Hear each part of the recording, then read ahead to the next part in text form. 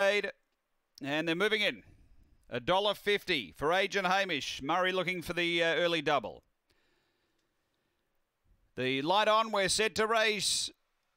Ready to go. This is uh, the fourth of the night. They're on their way, and there's good speed. Victor Jess down near the inside, headed off by Agent Hamish. The favourite runs to the top.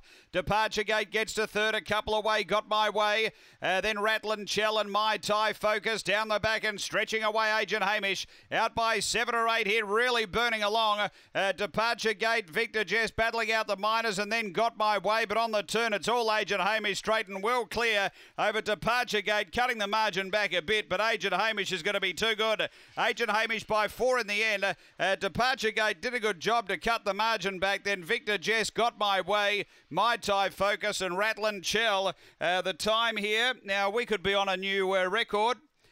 Time is around, the record is 29.59. And here we go, 29.50. New track record.